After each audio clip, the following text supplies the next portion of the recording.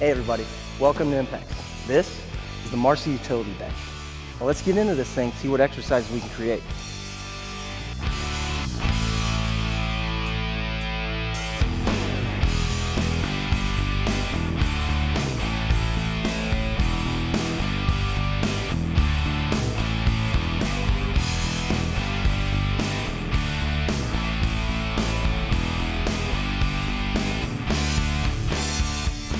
To adjust the back pad, simply pull on the locking pin, slide it down the chrome plated track, and place it where you need it.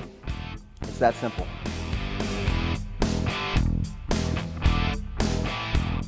To adjust the leg anchor, simply pull the pin, lock it in, tighten it up.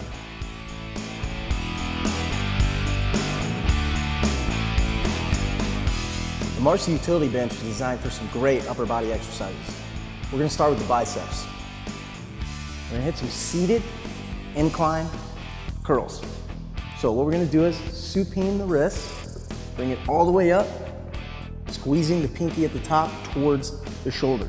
Nice and slow on the way down, and back up on the other side, alternating each side. Making sure we get a full contraction at the top and a full extension at the bottom. Other variations are the hammer curl. And then of course, dual arm supine curls.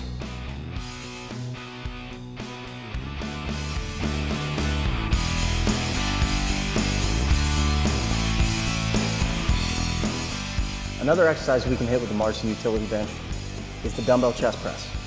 One thing that we need to make sure we're doing is emphasizing the stress on the pec and not just the tricep. So by doing that, we're gonna lower the weight down slow and fire up, squeezing the chest, keeping the attention on the chest as much as possible.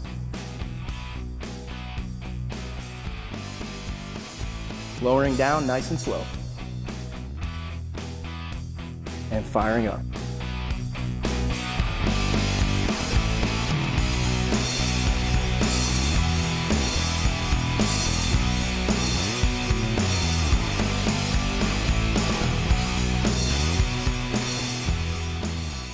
Probably do that exercise three sets, anywhere between 8 to 12 reps. And that's your upper body chest press.